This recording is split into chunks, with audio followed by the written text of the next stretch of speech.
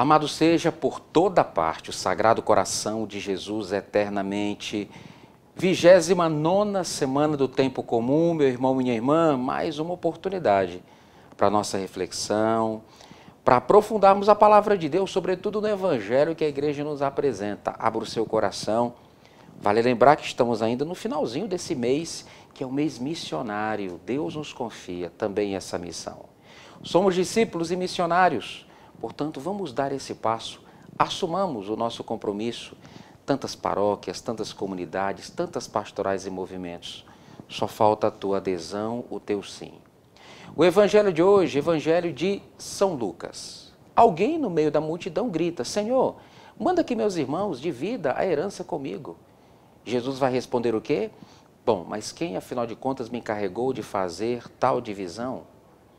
Tomai cuidado a vida de um homem, ela não se resume em bens. Meu irmão, minha irmã, eu acho que esse é o horizonte de fato que Jesus hoje nos ensina. A nossa vida não pode ser resumida somente a coisas materiais, aos bens materiais. Eles são importantes, sem sombra de dúvida, são importantes, mas não é o tudo, não é o tudo da nossa vida. E eu te faço a pergunta: o que é inegociável na tua vida? O que é que você pode deixar de lado, o que é que você não pode deixar de lado. Portanto, meu irmão, minha irmã, me parece que a pérola preciosa, aquilo que é inegociável, não são os nossos bens.